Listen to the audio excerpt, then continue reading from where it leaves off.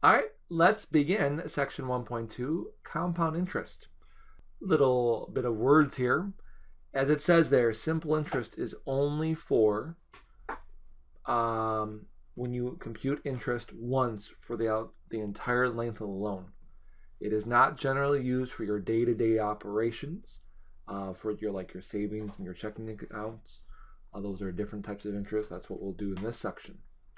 Uh, we will see simple interest a couple other times, but the big thing is the interest is only being computed once.